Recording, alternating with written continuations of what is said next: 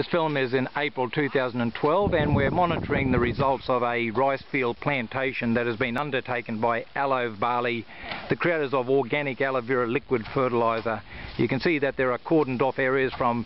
four different uh, rice plantations and you can see the brand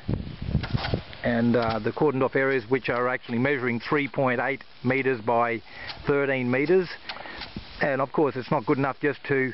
uh, grow the, the, the, the, crops without measuring the yield. So we're actually getting a good accurate measurements of the yields um, and you can see everything has been documented in detail. Measuring, counting and they're using traditional methods over here to obtain the fruit, obtain the rice and get good accurate uh, readings of the yield. See here certainly the way of the future to be able to have a pesticide-free, chemical-free fertiliser that's offering such an amazing um, result